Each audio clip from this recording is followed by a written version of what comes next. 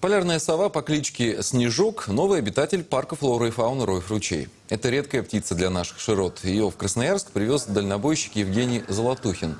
Его с совами связывает давняя дружба. Одна когда-то жила у него в кабине, почти год они путешествовали вместе, но в феврале птица заболела, и спасти пернатого друга мужчина не смог. Встреча со Снежком произошла в одном из вахтовых поселков близ Карского моря. Местные ребята подобрали подбитую сову. Крыло у нее было сломано в двух местах.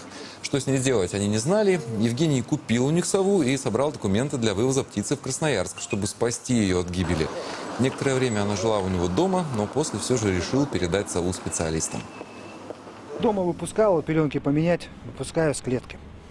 А Потом, если только брать, перчаткой беру, руки мне он все подрал клювом.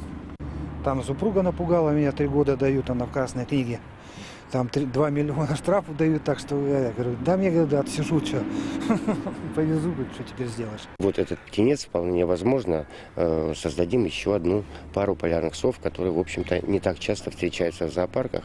И с точки зрения экспозиции все-таки белая сова э, в темную рябинку.